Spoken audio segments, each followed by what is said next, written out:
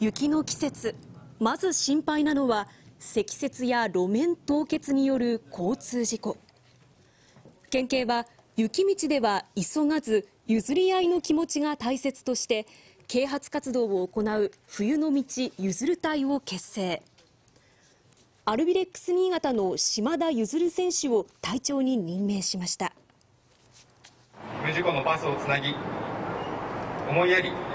譲り合いの気持ちが広がるよう呼びかけていきますので皆さんも共に頑張りましょう。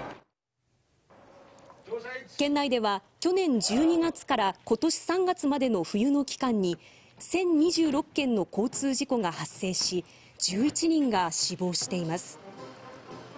20日までは冬の交通事故防止運動も実施され県警は飲酒運転などの取り締まりを強化します。一方こちらは佐渡汽船。多くの人や物の輸送が活発になる年末年始を前に国土交通省北陸信越運輸局と新潟海上保安部の職員が合同でカーフェリーときわ丸の安全点検を実施しました。船内各船のプーネアルコール消毒薬を設置しましてお客様にあの自由に使っていただくように対応しております、はい、一のところはですねあの検温器も置いていただいてたんですね、はい、検温器も、はい、設置しております、はい、職員らは大雪などで海が荒れた時に備えた救命設備のほか感染対策、テロ対策の設備などを一つ一つ点検して回りました。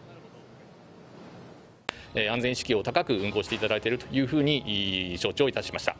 非常にあの厳しい冬があの予想されるところではありますけれども、あの乗客、乗組の方の安全に努めていただきたいというふうに考えています。